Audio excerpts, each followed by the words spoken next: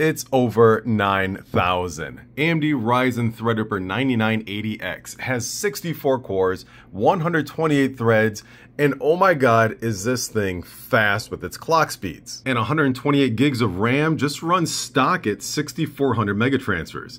That's bonkers. So that's what we're playing with today, the AMD Ryzen Threadripper 9000 line of CPUs. Uh, yeah, plural. And we've got the smaller one with just 32 cores. That's the Ryzen Threadripper 9970X. And there's big differences for this generation, actually. I keep hitting myself in the head. Now, let's back up a moment. So these are different sockets. This is a TRX 50 style of socket meant for these very large and powerful CPUs and power hungry CPUs as well, 350 watt TDP. This is the AMD Ryzen Threadripper 9970X, 32 cores, 64 threads, and it goes for $2,500.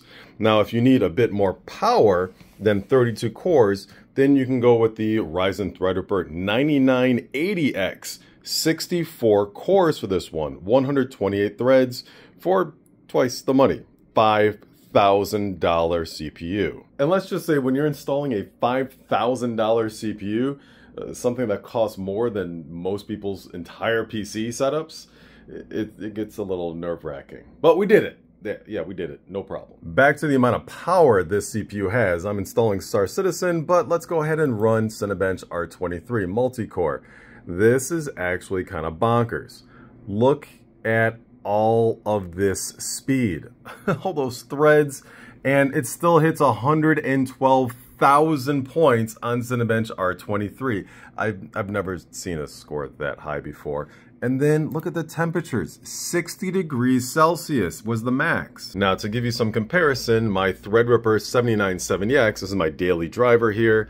seems like such few amount of cores, but on Cinebench R23, it does an amazing job, but 63,000 points is, uh, pales in comparison. You can do a lot with 64 cores and 128 threads. That score is bonkers. So we're going to be going over a lot with these Threadripper 9000 CPUs. So hit the like, follow, subscribe button, and uh, let's get busy.